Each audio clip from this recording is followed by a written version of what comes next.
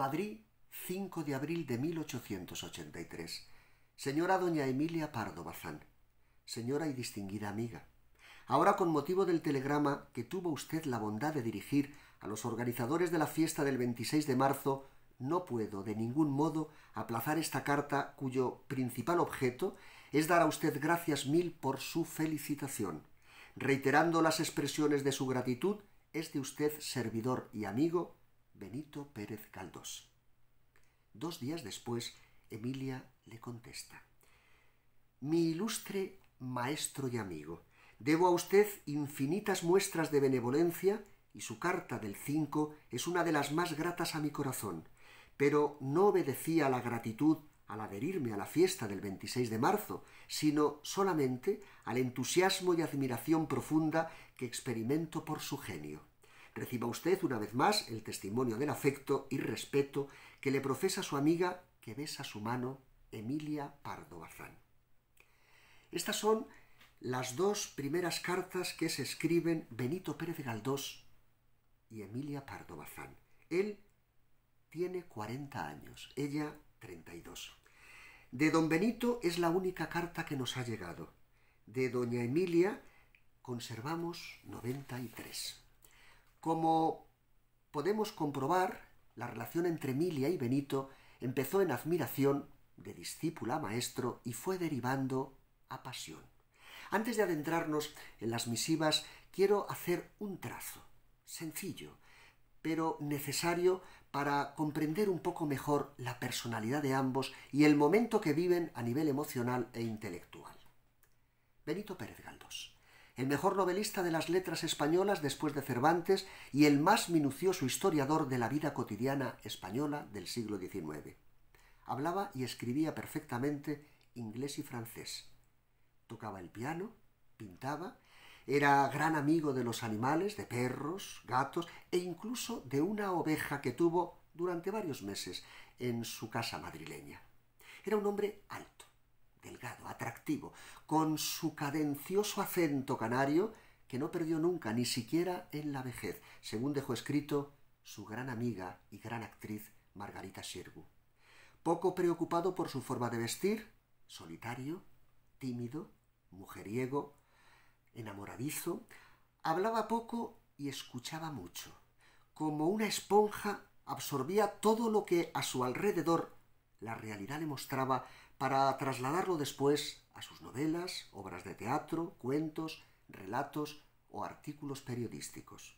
Era una persona metódica, muy trabajador, muy desprendido, bondadoso, cariñoso. No bebía, sí fumaba, cigarrillos de hoja.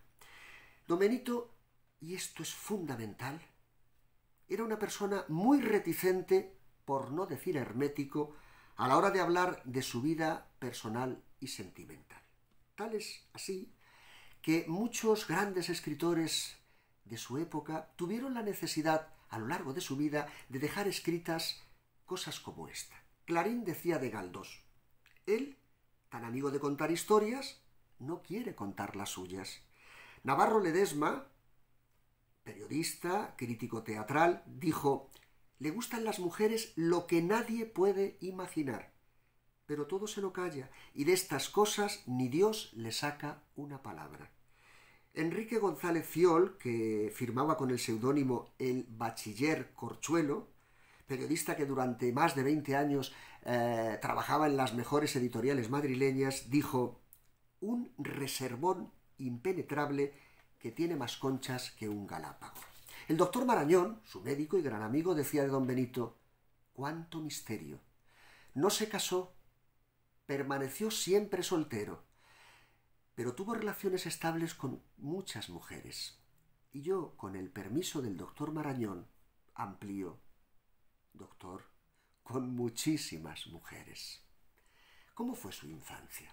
Era el menor de diez hijos, mimado por numerosas mujeres de la casa, madre, tía, seis hermanas, sirvienta. Su madre fue una mujer fuerte, autoritaria e intransigente. Fue un niño enfermizo y asmático. Llega a Madrid con 19 años eh, para estudiar en la Universidad Central la carrera de Derecho, que no va a terminar. Era un joven muy atractivo, un ochenta y tantos. Tenemos la imagen de un Galdós ya mayor, cansado. No, no, no era un hombre, un gran seductor. No era un don Juan canalla y pendenciero, ni mucho menos. Él se enamoraba hasta la médula de las mujeres. Tuvo una hija, María, una hija con Lorenza Cobian, la única hija reconocida, aunque sabemos que dejó a varias embarazadas. En el homenaje a, perdón, a Jacinto Benavente, tuvo la necesidad de decir, sin mujeres no hay arte. Ellas son el encanto de la vida, el estímulo de las ambiciones grandes y pequeñas, origen son y manantial, de donde proceden todas las virtudes. Obras de ellas son los más gloriosos triunfos del bien. Sin mujeres no hay arte. Esta declaración debemos escribirla en el frontispicio de toda su existencia para intentar comprender un poco más su rica y compleja personalidad. Galdós sitúa a la mujer en el centro de su vida y en el centro de su obra, dejándonos el mayor y más rico friso de personajes femeninos de carne y hueso, mujeres fuertes, valientes, empoderadas, mujeres con voluntad de hierro. La gran María Zambrano dirá sobre las mujeres galdosianas. Es el primer escritor español que introduce a todo riesgo las mujeres en su mundo, las mujeres múltiples y diversas, las mujeres reales y distintas, ontológicamente iguales al varón. Y esta es la novedad, la deslumbrante conquista. Existen como el hombre, tienen el mismo género de realidad.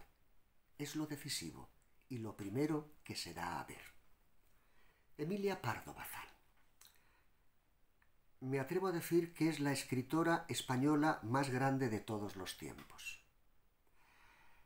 La mujer más culta de su época, lectora infatigable, políglota, escribía y hablaba perfectamente francés, inglés, alemán e italiano. Su padre, don José Pardo Bazán, le dio un consejo siendo muy niña y ella a lo largo de su vida, tuvo la necesidad de hablar de este consejo. Mira, hija mía, le dijo, los hombres son muy egoístas. Si te dicen alguna vez que hay cosas que pueden hacer los hombres y las mujeres no, di que es mentira. No puede haber dos morales para dos sexos. Perdón. A los 17 años vivió tres acontecimientos importantísimos que ella misma va a decir. Me vestí de largo, me casé y estalló la Revolución del 68, la famosa gloriosa. Se casó con José Antonio de Quiroga y Pérez de Deza. El matrimonio tuvo tres hijos, Jaime, Carmen y Blanca. Su matrimonio no funcionó. Su marido, que era una buena persona, quizá un poco débil de carácter, no la entendía.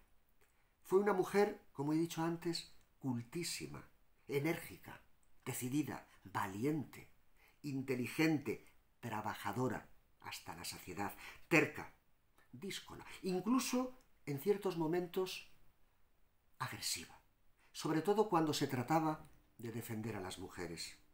Feminista convencida, vamos, una señora de armas tomar.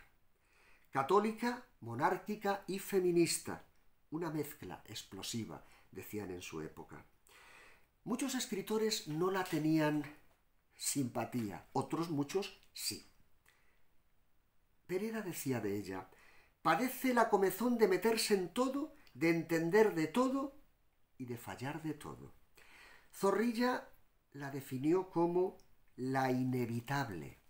Doña Emilia nunca se lo perdonó. Con Clarín va a tener una relación a lo largo de los años compleja se podría hacer una gran novela. Hay momentos de gran amor y de, gran respeto y hay momentos de unos insultos terribles. Esta vez no son buenas las críticas que hace de ella. Dice Clarín, es como si se empeñara en ser guardia civil. Cuando ese hombre se muera, habrá fiesta nacional. Pausa. Mm, también, vamos a decir la verdad, cuando ya Clarín es mayor, han pasado los años, y se da cuenta de la grandísima personalidad que tiene Emilia y de la gran obra que está haciendo, dice, muchas de las enemistades literarias que han surgido contra la señora Pardo Bazán tienen su origen en la envidia de varios barbudos sujetos que no pueden llevar con paciencia que sepa más que ellos una señora de La Coruña. Baroja dice, no me interesó nunca como mujer ni como escritora. Como mujer es de una obesidad desagradable y en su conversación un poco ansiosa y trepadora. Giusepla, una señora de gran vitalidad, de espléndida verbosidad, amplia, monumental, ligeramente estrábica, masculina. Me pregunto si estos señores cuando definen a otros señores tienen la necesidad de incidir en los aspectos físicos, sobre todo los negativos. Menéndez Pelayo, cuando publicó Los Pazos de Ulloa, dijo La vigorosa pluma de Emilia deja azorados a los varones. Hay mucho hombre en esta mujer. Me van a permitir que me pare un poquito para hablar de lo, de, de lo que sucedió cuando publicó doña Emilia La cuestión palpitante, en 1882. Es la recopilación de artículos publicados inicialmente en el periódico La Época. Doña Emilia hace una divulgación literaria rigurosa, histórica y crítica sobre el naturalismo de Emily Zola. Era algo que palpitaba en ese momento y lo hace con la aquiescencia, porque es muy inteligente y sabe que esto en aquel momento no puede ir ella sola, de Menéndez Pelayo y con el prólogo de su amado enemigo Clarín. Se monta un gran escándalo. Sobre todo se monta por ser mujer, una mujer que se pone a la altura del hombre. Su marido, ante el revuelo, le pide que deje de escribir ella no lo acepta. Este será el desencadenante de la ruptura del matrimonio, del matrimonio Quiroga-Pardo Bazán. En aquel tiempo no había divorcio. Se separan de forma amigable con un documento notarial impecable. Doña Emilia hace del problema de la marginación de las mujeres la verdadera clave del atraso español respecto a Europa y al progreso como dejó claro en una conferencia en París en el año 1889 llamada o titulada La España de ayer y de hoy, o el artículo que apareció en 1901 en la Ilustración Artística. Dice así, ¿sería tan dificultoso romper nuestra costra de incultura, modificando nuestro criterio propiamente musulmán en cuanto se refiere a la mujer? Y añade, señores la inteligencia no tiene sexo.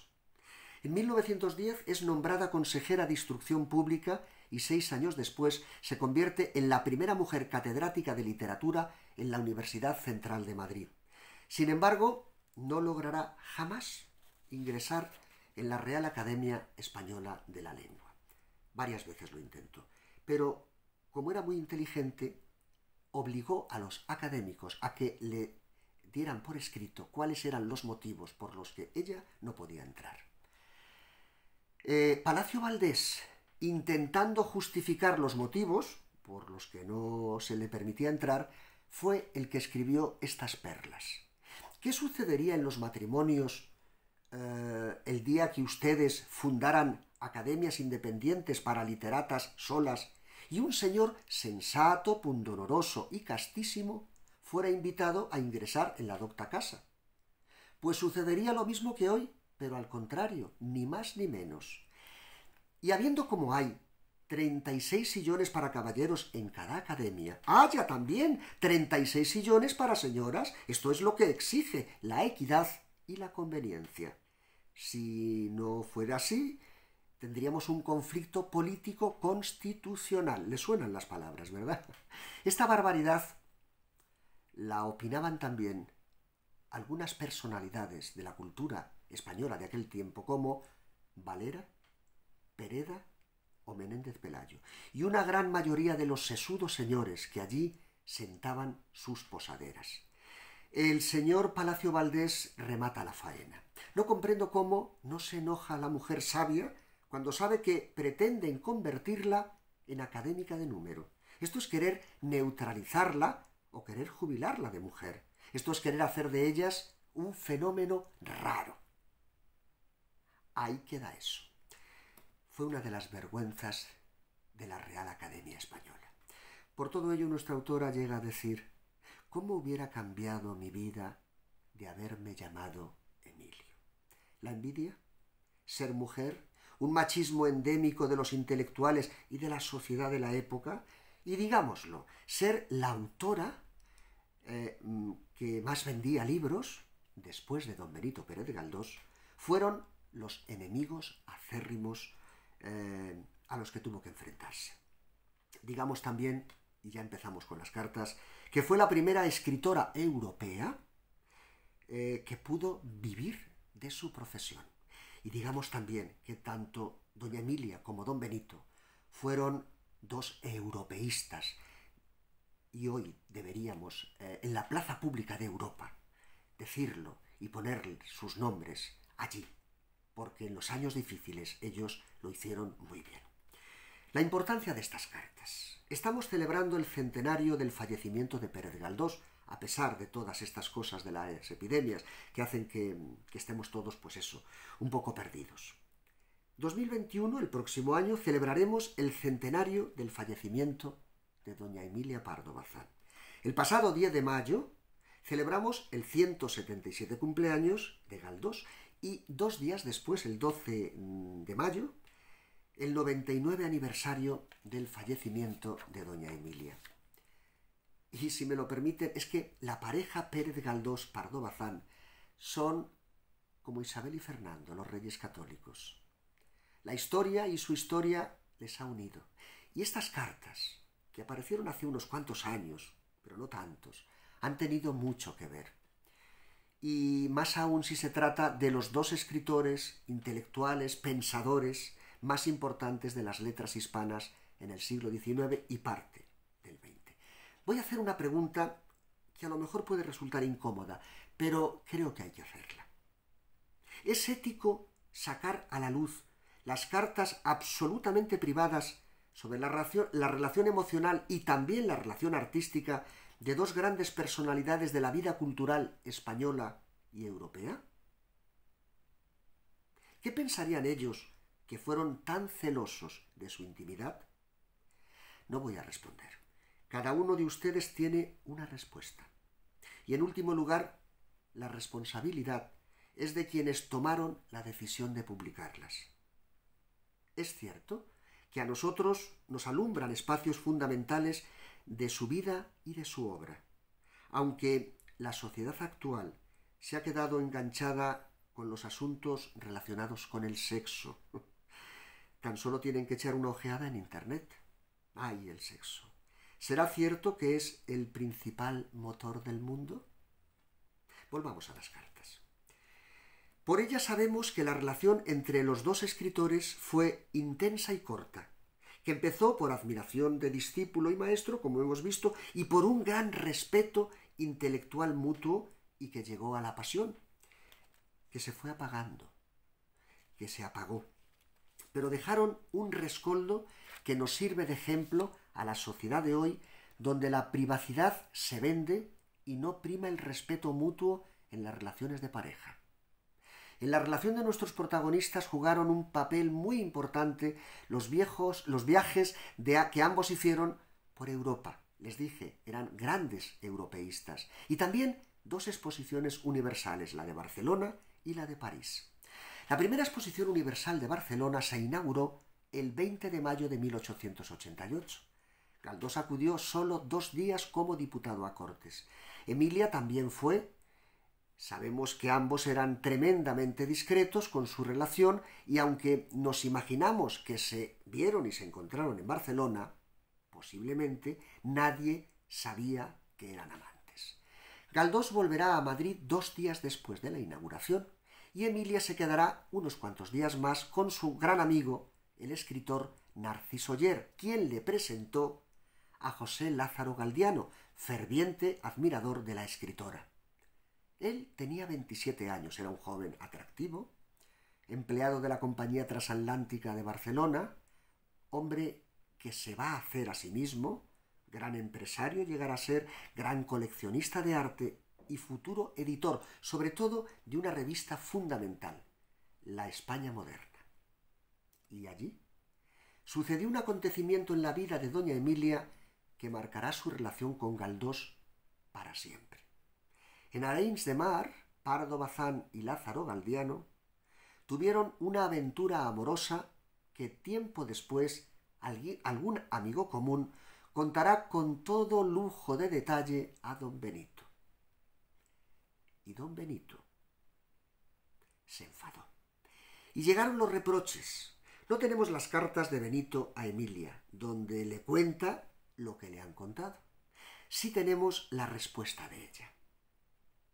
28 de febrero de 1889, a medianoche. Acabo de leer tu carta.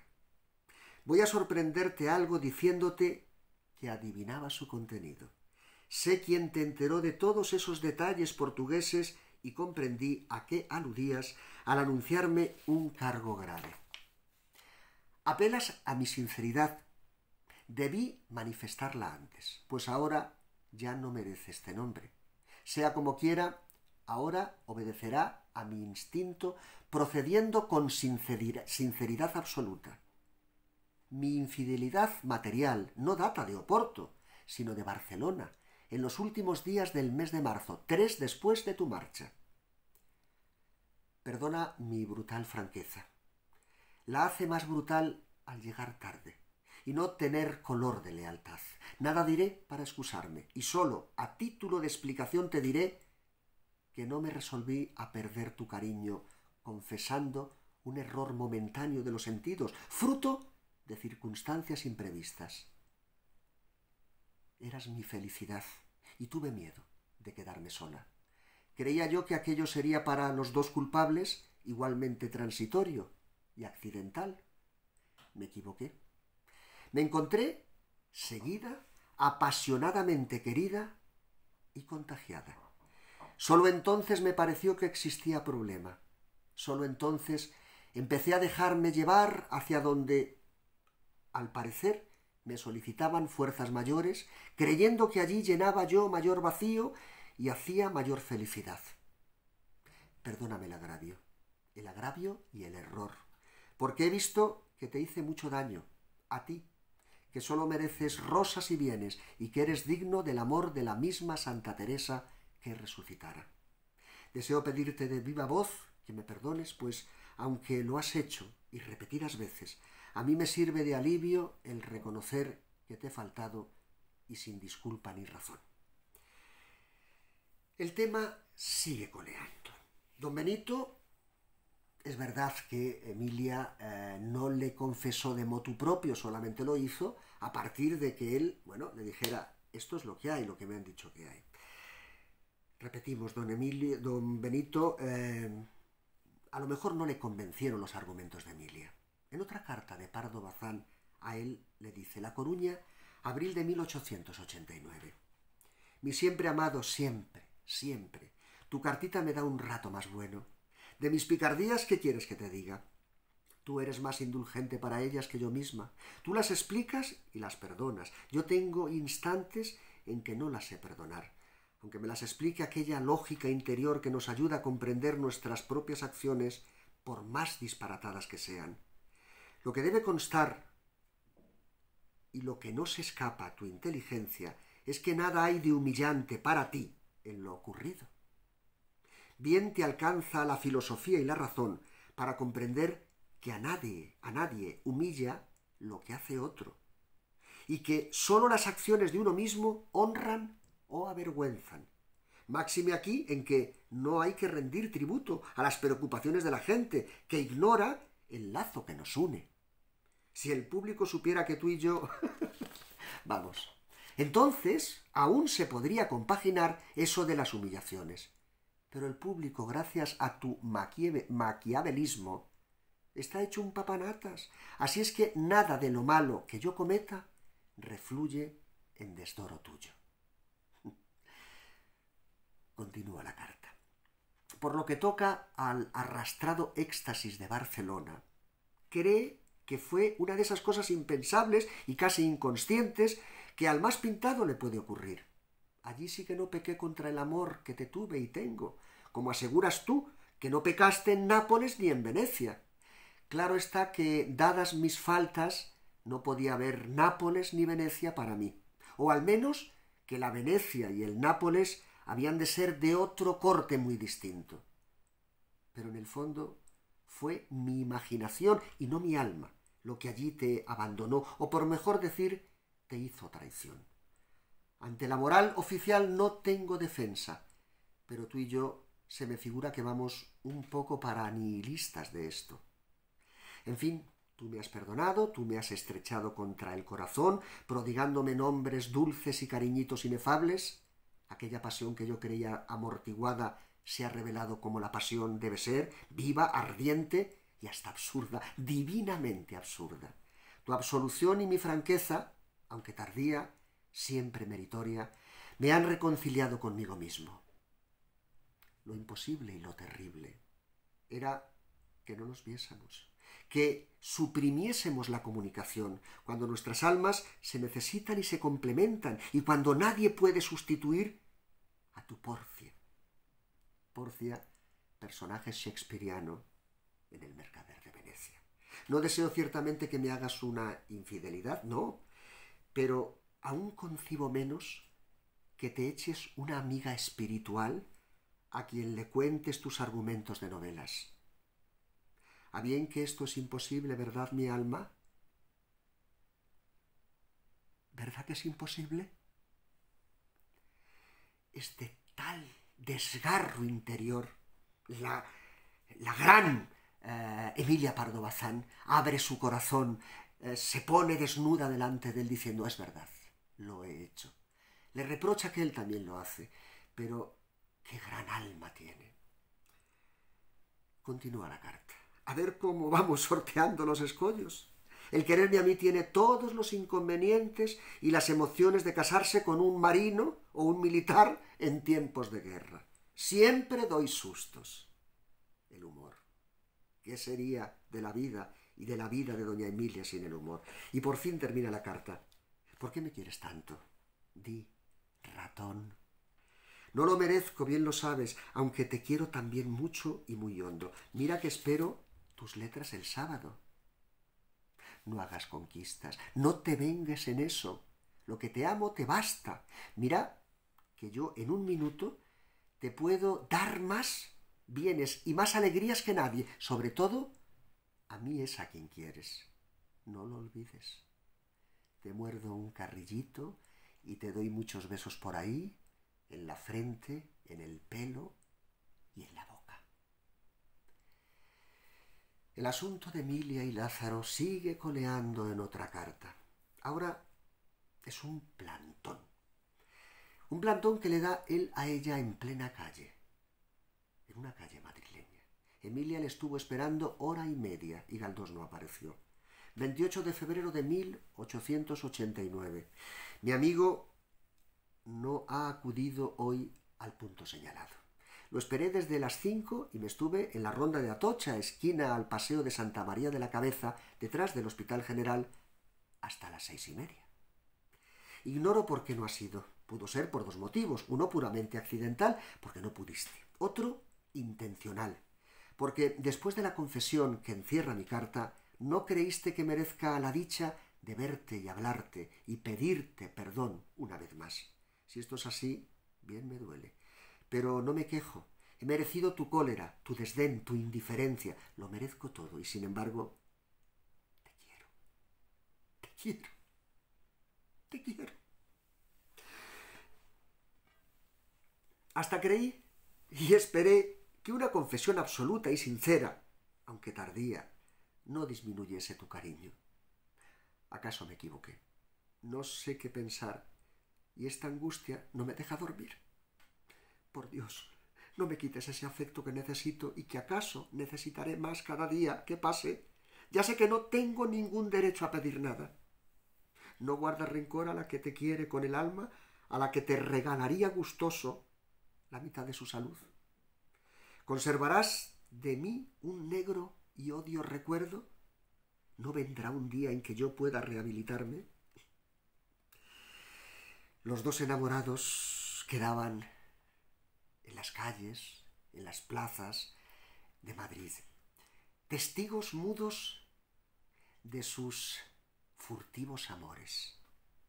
En una de las cartas, y van a entender el porqué del título de esta conferencia, dice Emilia a, Benito, mi propósito es plantarme en Maravillas Church, Palma Strasse.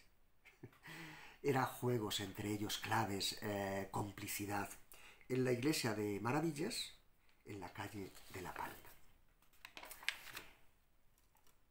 Todavía les quedan a nuestros protagonistas algún que otro sobresalto. Si tenemos poco, en ese año de, en ese año de 1889 llega Insolación, una historia de amor. Una novela magnífica que muchos críticos consideraron autobiográfica de Doña Emilia. Novela ambientada en Madrid y en las fiestas de San Isidro. La protagonista es Asís de Taboada, marquesa viuda de Andrade, joven, respetada y piadosa aristócrata madrileña, que acaba de conocer a un atractivo gaditano llamado Diego Pacheco, seductor y calavera, que la invita a ir a la romería del Santo Patrón de Madrid. Ambos se emborrachan. La novela es un escándalo fenomenal para la doble moral tan en boga en la época. Y, repetimos, y autobiográfica. Y la pareja Taboada Pacheco es un trasunto de la de Pardo Bazán, Alcalá Galiano. Gentes como Pereda o Clarín escriben auténticas barbaridades sobre la novela y sobre la escritora. Pereda pone el grito en el cielo porque la protagonista va a la feria de San Isidro con un hombre que acaba de conocer un momento antes y se emborrachan juntos. Esto, dice Pereda, esto es imperdonable con una mujer decente. Ahí queda eso. Clarín, Clarín va a ser de una crueldad terrible.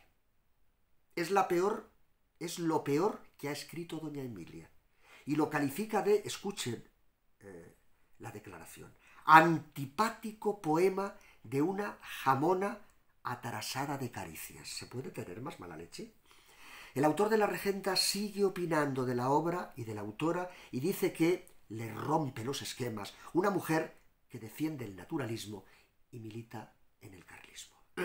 Todo hace pensar, reflexionando un poco a qué viene este odio, que posiblemente eh, Clarín esté muy enfadado porque doña Emilia no publicó lo que él esperaba, una gran crítica de la regenta. Y es que parece ser que la literatura y la vida a veces se empeñan en caminar juntas. Galdós no había dicho aún su última palabra y en 1888 publica La incógnita y en el 89 Realidad, que años más tarde llevará con el mismo título a los escenarios. Ambas novelas y también la versión teatral habla de lo mismo, la infidelidad conyugal de una mujer burguesa llamada Augusta Cisneros. Un triángulo amoroso entre marido, esposa y amante. Y de nuevo, la vida manda. Y el caso Emilia, Lázaro y Benito sigue dando que hablar. Y las cartas una vez más nos dejan constancia de que el conflicto continúa. Ya he leído la incógnita, dice doña Emilia. Como supondrás, es cosa rara. Cuando tú escribes eres tan nihilista e insensato como sensato y ministerial y burgués en las conversaciones. Me he reconocido en aquella señora más amada por infiel y por trapacera. Válgame Dios, alma mía puedo asegurarte que yo misma no me doy cuenta de cómo he llegado a esto.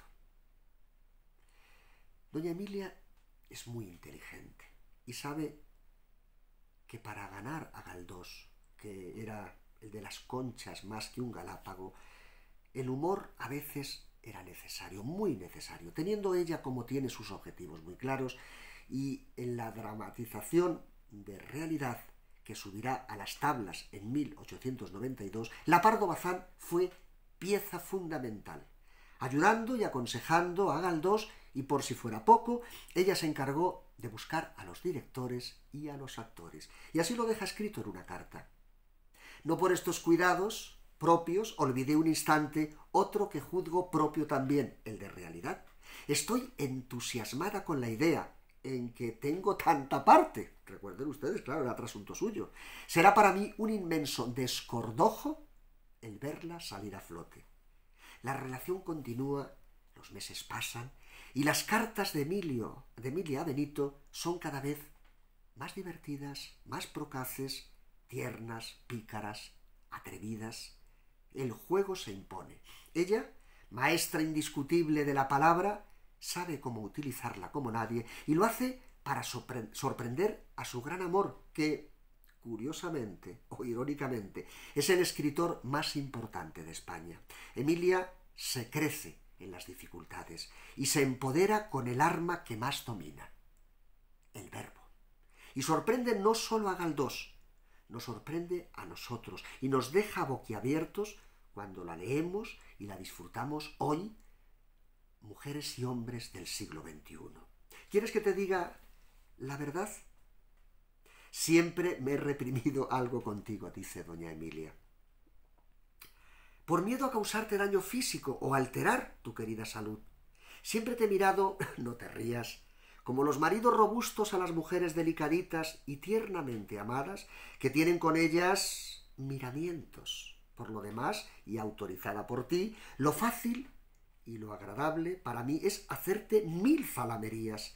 A eso me inclina no sólo el cariñazo que te tengo, sino mi condición de gallega arrulladora y mimosa. Verás cuántas tonterías hago y digo. Apostemos a que vas a reírte. Pánfilo de mi corazón.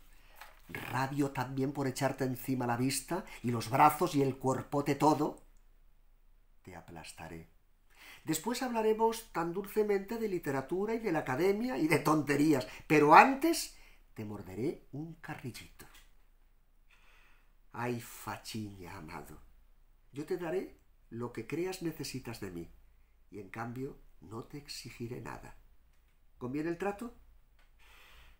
También habrá tiempo para la sinceridad en temas crematísticos. Me he propuesto vivir exclusivamente de mi trabajo literario, dice doña Emilia, sin recibir nada de mis padres, puesto que, si me emancipo en cierto modo de la tutela paterna, debo justificar mi emancipación no siendo en nada dependiente. Y este propósito, del todo varonil, reclama en mí fuerza y tranquilidad. Si pensase en este dualismo mío interior, no cumpliría mis compromisos editoriales porque dormiría mal, estaría rendida al día siguiente y adiós producción y adiós quince cuartillas diarias. Esta especie de transposición del estado de mujer al de hombre es cada día más acentuado en mí, y por eso no tengo tanta zozobra moral como en otro caso tendría. De los dos órdenes de virtudes que se exigen al género humano, elijo las del varón, y en paz. Este, este, es uno de los motivos eh, por los que ya eh, se empodera y se crece. No, eh, la sociedad es muy machista y no voy a ir de mártir. Odiaba ir de mártir. Los dos amantes, escritores, como dos adolescentes atolondrados, recuerdan un episodio en la Castellana de Madrid con ciertas similitudes a lo que sucedió a la reina castiza, la de los tristes destinos que diría don Benito, en Lardi, el mismo día del nombramiento de Alcalá Zamora como presidente de la República. Parece ser que Isabel II perdió el corsé en el salón japonés de Lardi. Eh, escribe doña Emilia, relato tu carta y me río con el episodio de aquella prenda íntima. ¿Qué habrá dicho el guardia de la castellana al recogerla? ¿Qué impresión moral será la suya? ¿Cómo juzgará de las costumbres de la high life?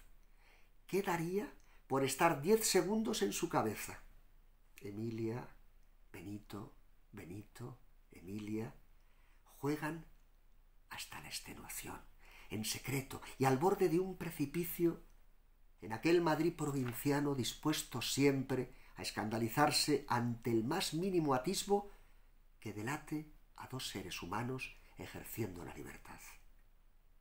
Amigo, maestro, miquiño adorado, ratón, amigo del alma, cariño, caro, mi nino, mi dulce bien, roedor mío, caro roedor literario, mi siempre amado, siempre, siempre.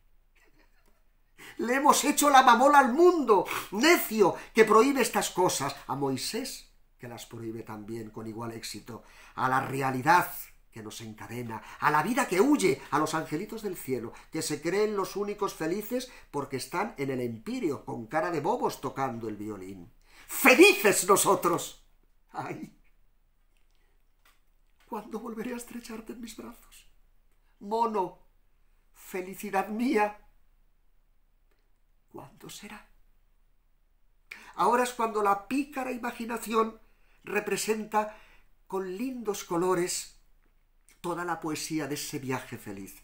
Ahora es cuando van idealizándose y adquiriendo tonos de color de rosa, azul y oro las excursiones de Zúrich, las severas bellezas de Múnich, las góticas y místicas curiosidades de Nuremberg y en especial la sublime noche de Frankfurt, la noche que he sentido tu corazón más cerca del mío y tu amor se me ha parecido más claro, acompañado, ayme, de remordimientos y escozores de mi conciencia que dista mucho de haberse aplacado todavía.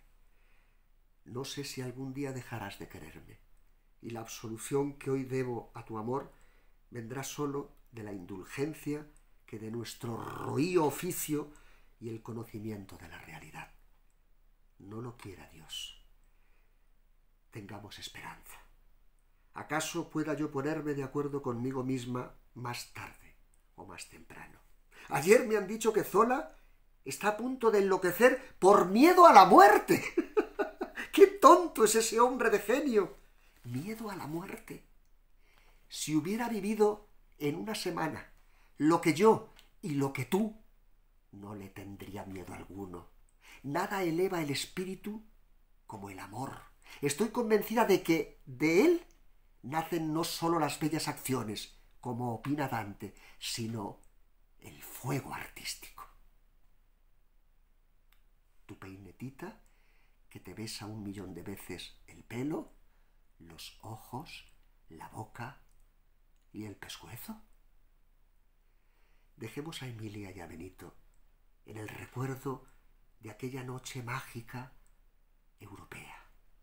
Y en especial la sublime noche de Frankfurt, la noche de todas las noches, donde la eternidad y el deseo son almas gemelas.